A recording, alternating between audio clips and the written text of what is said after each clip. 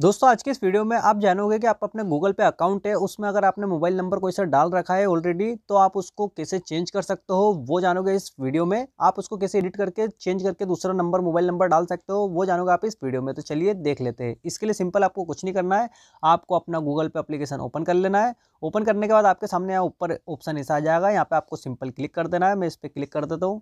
मैंने इस पर क्लिक किया, उसके बाद आपके सामने ऐसा ऑप्शन आएगा, यहाँ पे आपको आपका अकाउंट से रिलेटेड मोबाइल नंबर दिखेगा, है ना?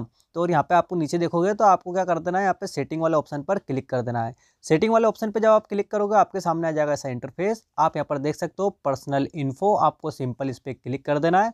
सिंपल जब आप इस पर क्लिक करोगे तो आपके पास में यहाँ एडिट का ऑप्शन आ जाएगा। एक लैंग्वेज एडिट कर सकते हो और आप मोबाइल नंबर भी एडिट कर सकते हो। तो मैं मोबाइल नंबर पर क्लिक कर देता हूँ। मोबाइल नंबर पर क्लिक करने के बाद मैं यहाँ पे डाल देता हूँ मोबाइल नंबर जो हमारा मोबाइल नंबर है, हम यहाँ पे डाल देते हैं।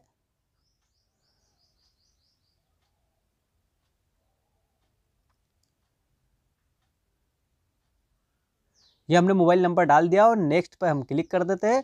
उसके बाद वेरिफिकेशन यूर नंबर। आपके पास में एक आएगा ओटीपी जिससे वेरीफाई होगा कि आपका मोबाइल नंबर ही है तो आपके पास में एक ओ आने वाला है। ये ले लिया इसने ऑटोमेटिक और अब ये आगे बढ़ जाएगा। ये आगे बढ़ जाएगा। यहाँ पे देख सकते हो आपका मोबाइल नंबर यहाँ पे अपडेट कर दिया है। इसने मोबाइल नंबर इसे चेंज कर दिया और यहाँ पे मैसेज भी आपके पास में आ चुका है, ठीक है?